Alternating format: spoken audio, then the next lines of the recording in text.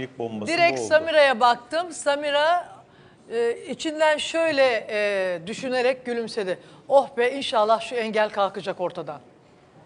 Yani bunlar bir beraber olsa da en azından güzeli bir elesem gibi. Ee, Uğur'cum, Özer ikinci kez güzele talip Evet. oluyor biliyorsun değil mi? Evet, Şaşırttı bizi vallahi. Şaşırdık. Bir kere çünkü olmadı deyip ayrıldılar. Bitti gitti diye düşündük ama. Ben e, açıklama yapayım o zaman. Buyurun. Evet. Evet ben ikinci kez talip oldum. E, kusura bakma Güzelciğim bu sefer çiçek böcek yok.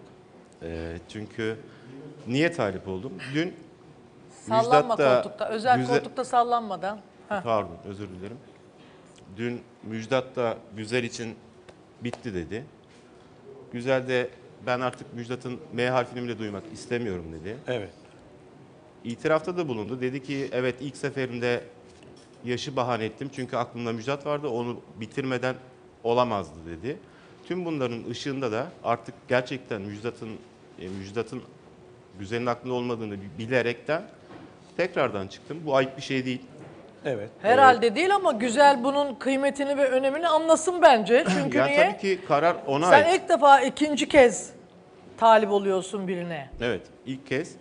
Demek ki her şeyin bir iki var. Biliyorum ama. Heyecanlandın Titriyorsun. mı? Niye Ya titriyorsun? ilk defa talip oluyor vallahi. Ama öyle bir şey var ki Seda Hanım gerçekten ben buraya ilk geldiğimde biraz suratıma sıktı. Ama şimdi böyle güzelin oturduğum zaman yüzüm gülüyor bilmiyorum. E, değişik bir aurası, değişik bir enerjisi var yani. İyi geliyor bana öyle söyleyeyim. Allah Allah. Ya ben komple şu an titriyorum ya. Güzel de titriyorsun. Güzel sen aslında titretirdin hep ama titriyorsun şu an. Niye öyle? Yani Bir de yani ilk ilk seferinde çıktığım zamanki yorumları falan yani ben okuyorum zaten. Dile getirmiştim. %70, %80 beraber okumuştuk hatta. Herkes yakıştırıyor. Yani öyle çok olumsuz bakan yok.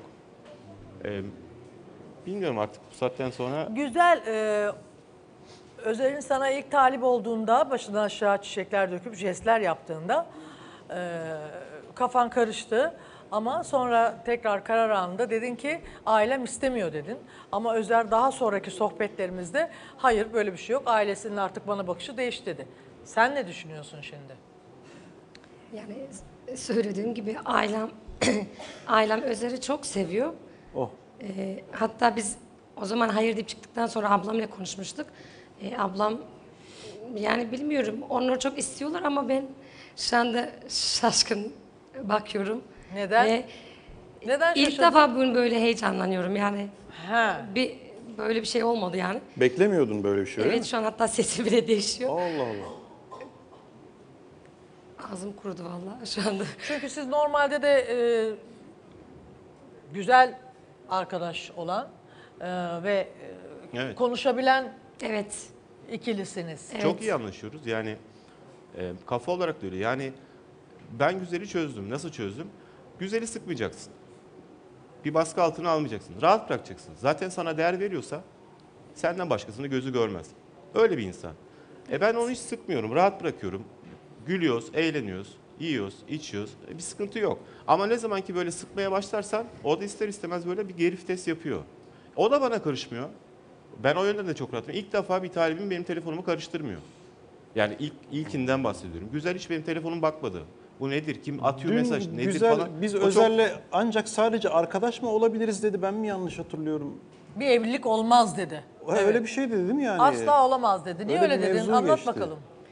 Ya Bayağı şimdi- beylik laflar ettin. Büyük konuşmayın Şimdi de diyoruz bak. heyecanlandım diyorsun. Yani heyecanlıyım çünkü Özel Bey'in bir daha çıkacağını tahmin edemedim yani. Beklemiyordum.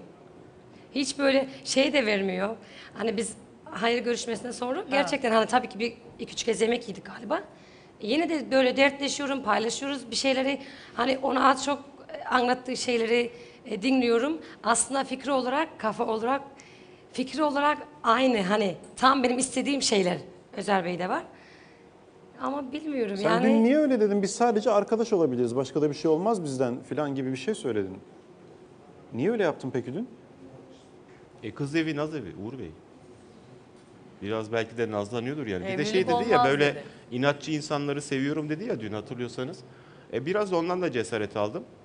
E çünkü bazı şeyleri elde etmek kolay değil. Yani şimdi Çiğdem de burada yanlış anlamasın. O da 6-7 aydan beri kendisi ifade etti yani bu kendi sözleri. 6-7 aydan beri peşinde koştum, koştum, koştum öyle elde ettim dedi. Ve de nişanlandık biliyorsunuz. E demek ki birileri bir şeyler yapmak zorunda. Birileri mücadele etmek zorunda.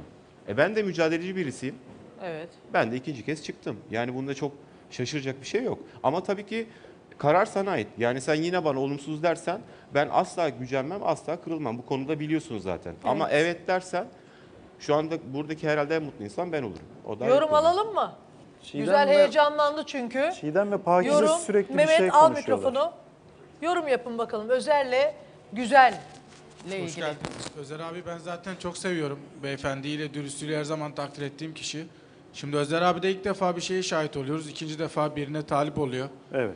Özer abi her zaman kararlı bir insandır. Her zaman mantığıyla hareket eden biridir. Demek ki kafasında bir şeyler oluşturmuş ki seninle ilgili net. Şu an tekrar ikinci defa sana talip oluyor. E Zaten birbirinizi